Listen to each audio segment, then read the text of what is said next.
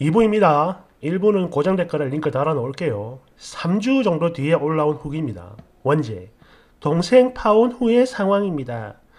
어, 오랜만에 인사드리는데 다들 그간 안녕들 하셨나요? 저는 일전에 결혼 일주일 딱 납두고 파혼 결정을 했던 저희 동생 문제로 이곳에서 조언을 구했던 바로 그 사람인데요. 당시 많은 조언을 얻었고 그래서 도움이 되었는데 그래서 이 부분은 정말 정말 감사한 부분인데요. 그런데요. 이게요, 문제가 해결된 게 아니라 이상하게 더 그지같이 꼬여버렸어요. 그러니까 상대 집안에서 저희 동생한테 문자로 혼수랑 결혼 준비 비용 일체는 물론 정신적 위자료 명목으로 총 3억이라는 엄청난 돈을 요구했는데요. 만약 이 요구를 안 들어주면 무슨 짓을 할지 모른다. 각오해라. 이런 협박까지 해댔는데 뭐 아무리 그렇다 해도 이건 진짜 말도 안 되는 거잖아요. 그래서 그냥 우리 무시하자 하고 넘어갔거든요. 그랬더니 결국 진짜 거지 같은 일이 터지고 말았어요. 그러니까 신혼집으로 구한 그 전세 아파트 있죠. 저희 엄마 명의로 된 거 5억짜리. 여기에 그 여자랑 그 여자 엄마가 함께 거주하며 비번도 바꿔버리고 저희 가족을 못 들어가게 막아버리는 거예요. 그 여자 엄마가 유치권 행사를 주장하며 3억을 주면 혼수는 그냥 두고 우리는 몸만 나가겠다. 아니면 이 집을 우리가 뺏어가겠다. 이러는데 정말 기가 막혀서 게다가 저희 동생한테는 따로 전화를 해가지고 온갖 막 패드립에 욕설을 퍼부었고요. 뭐 이거는 증거로 쓰기 위해 전부 녹취를 해줬어요. 그리고 지금 이 순간도 계속 전화가 옵니다. 협박을 해요.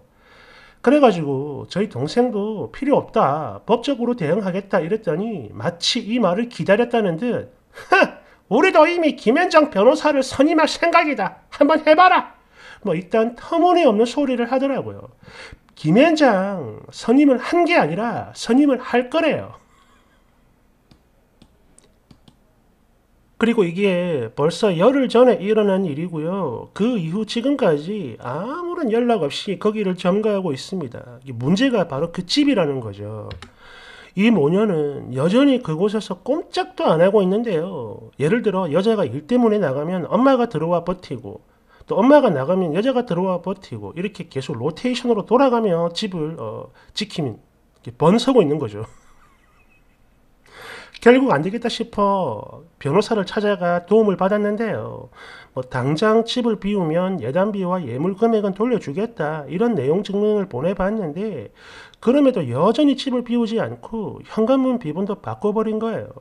저희 변호사는 민사로 명도 소송과 또 형사 퇴거 불응죄 이런 걸로 대응을 할 수 있다고는 하지만 본인도 이런 사건은 처음 다뤄본다고 합니다. 변호사 인생 처음 맡아보는 경우라고 해요. 듣도 보도 못했대요. 정말 기가 막히는 게 이게요. 아무리 저희 엄마 명의라 해도 강제로 문을 따고 들어갈 수가 없다고 합니다. 무슨 말이냐고요? 우리 엄마 명의 아니, 우리 동생 명의라 해도 그곳에 거주하고 있는 사람이 있을 경우에 그 사람의 의사를 무시하고 강제로 집에 들어가 버리면 이게 문제가 될 수도 있답니다. 법적 분쟁에서 굉장히 불리하게 작용될 수 있대요. 이게 말이 돼요? 어? 아니, 우리 집인데 너무 답답해요. 도대체 이 일을 어쩌면 좋을까요? 뭘 해야 이 사람들이 빨리 집을 비우게 하고 일을 제대로 마무리할 수 있을지 부끄럽지만 한 번 더 조언을 구하고자 합니다. 그럼 간에 평안하시길 바라며 글 마칠게요. 댓글 1번 뭐 제가 도움이 되지 못하는 사람이지만 그래도 어쨌든 파혼한 거 이건 정말 축하드립니다. 진짜 미친 것들이네요. 이런 거 상상도 못했어요. 되겠으니 예, 그거야 이미 저희도 가슴 쓸어내리며 자축했어요. 진짜 큰일 날 뻔했다고 결혼했으면. 그리고 비번 바꾼 거 알고 이때 얼마나 놀랐는지 몰라요. 여하튼 응원의 말씀 정말 정말 감사합니다. 2번 와 이게 뭐야? 지금 이 미친 상황 보니까 결혼 전에 깨진 거 이거 정말 신의 한 수였네요. 조상님의 은공이야. 동생이 사람을 잘 봤어요. 덜덜덜덜 그냥 법대로 가자고 해요. 되됐으니 네 맞습니다. 동생이 맨날 저한테 쎄하다 쎄하다 쎄하다 이런 말을 했는데 아 누나라고 하는 게 그냥 아유 야 네가 남자인데 좀 참아 이러고 자빠졌으니 여하튼 이거 시간이 오래 걸릴 것 같아서 너무 걱정되고 고민이에요. 3번 보니까 저 여자는 사람이 그리고 남편이 가정이 필요한 게 아니라 자기 부모를 떠나 혼자 살 수 있는 집이 필요한 것 같네요. 음, 아니지. 엄마랑 같이 왔다 갔다 하니까 좀 다른 경우인가? 여하튼 야, 내 진짜 살다 살다 이런 미친 거지 같은 꼴은 처음 보네. 달달달달달. 네, 됐으니 그래요. 이거 아무리 봐도 정상적이지 않은 사람입니다. 둘 다 그래요. 일단 그 아가씨는 동생 연락을 아예 안 받는 중이고요. 엄마라는 사람은 지금 이 순간에도 계속 저희 동생한테 전화를 해가지고 협박하고 욕을 하고 그래요.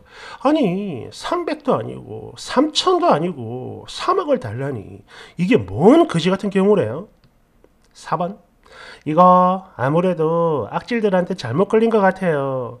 지금 상황에서는 일반적인 조언 따위 아무 소용 없는 것 같고 뭐 어쨌든 변호사 선임했다고 하니까 그냥 법대로 밀고 나가세요. 이거는 법의 조정, 도움을 받을 수밖에 없다고 봐요. 비싼 수업료 치른다 생각하고 변호사한테 제대로 맡겨보세요. 이왕이면 이혼 전문 변호사를 추천합니다. 되겠으니 저희 변호사가 제 친구 삼촌의 지인분인데요. 수임료 500에 이 사건 해결을 부탁했어요. 비록 이분이 이혼 전문 변호사는 아니지만 스펙은 진짜 화려하거든요. 2번 아, 그렇군요. 근데요, 아무리 스펙이 화려해도 이런 사건을 처음 다룬다는 부분이 좀 우려가 돼서요. 변호사들도 사람이고 자기 전문 분야가 따로 있기 때문에 자기 분야가 아니면 되게 서툴기도 하고 그렇거든요. 그리고 이런 케이스, 이혼 전문 변호사들한테는 제법 빈번한 소송이기도 합니다. 그러니까 이왕이면 이혼 전문 변호사가 유리할 거다, 이런 조언을 드린 거예요. 이런 경우가 많이 있나 봅니다. 비슷한 케이스의 소송들과 또 판례에 빠삭하고 또 관련법을 잘 활용할 줄 알거든요. 여하튼 부디 잘 해결되길 진심으로 바라겠습니다.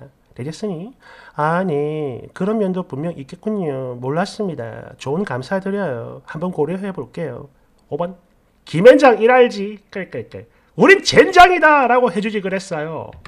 6번. 네, 장담하는데 김현장에서 이런 소송을 맡아줄 리가 없어요. 절 법대로 그리고 뭐 유치권 진짜 기가 차서 말이 안 나오네. 그냥 법대로 하고 신경 꺼버려요. 저거 얼마 못 버팁니다. 지집도 아니고. 되겠으니 사실 그래요. 유치권이라는 문자를 보면서 정말 무식하구나 이런 생각을 하긴 했습니다. 그런데 이게 문제예요. 이런 식으로 무식하면서 동시에 너무 용감하잖아. 무식한데 용감하면 답 없잖아요. 7번 아니 그 집 명의가 동생이면 그냥 못 따고 들어가도 되는 거 아닌가요? 집주인이잖아요. 되겠으니 어, 동생이 아니고 저희 엄마 명의 아파트예요. 근데 아무리 그래도 그냥 따고 들어가면 문제의 소지가 있다고 합니다. 진짜 웃기는 일이죠. 아니 집주인이 집에 못 들어가다니 이게 말이 돼요? 8번 일단 파혼한 거 이거만큼은 정말 진심으로 축하드립니다. 근데 그냥 문 따고 들어가면 정말로 안 되는 건가요? 그리고 저 인간들 진짜 웃기네. 재판까지 가봤자 정신적 위자료 같은 건 인정해 주지도 않을 텐데, 어? 다만 물리적으로 이미 들어간 비용에 대해서는 아깝지만 어느 정도 감수를 하셔야 될 것 같아요. 되됐으니 저희 변호사분 말이 혼수 비용이랑 위자료 같은 건 전혀 해당 사항이 없대요. 유책이 아니랍니다. 그래서 이걸 정받고 싶으면 또 자신 있으면 니들이 한번 소송 걸어봐라 이렇게 말을 해라 하는데 제 생각에는 저 사람들이 소송 못 걸 것 같아요. 그냥 저렇게 계속 버티며 진상 피울 것 같은데 이게 진짜 미치게 한다니까요. 9번 자가 아니고 전세라고 했으니까 그냥 집주인 만나가지고 전세 계약 중도 해지 진행하는 건 어떨지 싶어요. 뭐 복비든 뭐든 뭐 약간 돈이 들어가겠지만 차라리 그렇게 하는 편이 훨씬 더 속편하고 빠르지 않을까요? 되겠으니 그것도 그 집이 비었을 때, 즉 아무도 없을 때 가능한 게 아닐까요? 이런 거지 같은 상황에서 그 주인분이 관여하진 않을 것 같아요. 그렇죠. 해결하고 보내라 하겠죠. 일단 저희들 선에서 상황 정리하는 게 먼저인 것 같습니다. 10번. 그냥 주거 침입으로 신고를 해버리세요. 경찰이 출동했을 때 열쇠업체 같이 부르면 됩니다.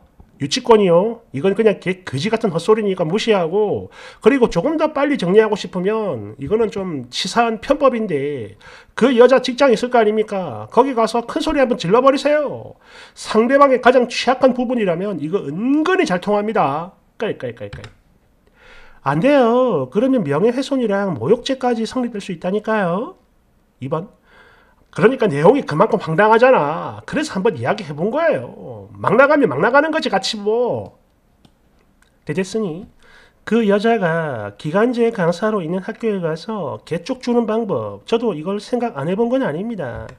또 한 달이 건너면 그 학교 전임 강사도 연결돼서 뭐 마음만 먹으면 안 좋은 소문도 퍼뜨릴 수 있는 건데요. 일단 이렇게 하면 명예훼손 같은 문제도 있겠지만 그 이전에 상대가 짐승처럼 나온다고 똑같은 짐승은 되고 싶지가 않거든요.